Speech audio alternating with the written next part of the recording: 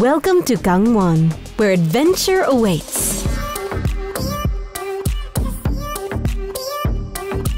Today, we're taking you on a little tour of Gangwon to celebrate its culture, history, and landscape to rejoice in its beautiful four season climate. First stop, Gangwon Coastal Highway 7. Also known as Hanwha Road, this road runs along the eastern coast of South Korea.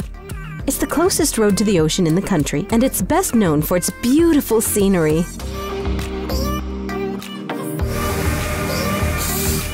Next, we're hopping over to the Cheongdongjin Station and Sunrise Park. This picturesque and quaint railway station stands alongside the sandy beach. The combination of railroad station, beach, and groves of pine trees makes Cheongdongjin a very peaceful and romantic mini getaway.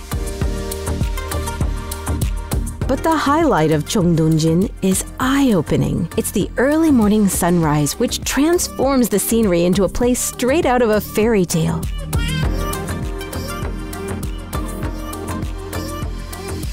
Next, we're off to Naksansa Temple, just north of Naksan Beach.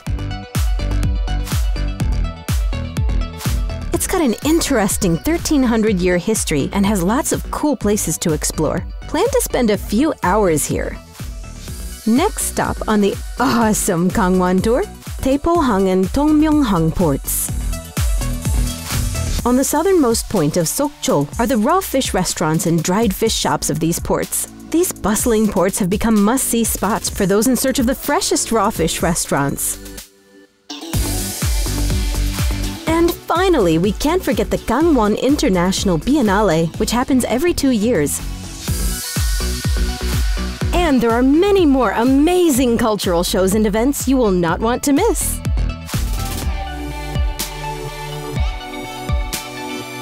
Once you make a visit, you will definitely fall in love with this place.